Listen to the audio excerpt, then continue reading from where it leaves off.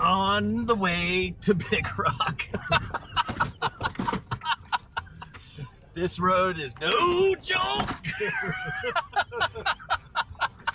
These are whoop de whoops, and uh, looks like someone lost the bottom of their car there for sure. oh, here we There come. it is ahead. See it? Nice.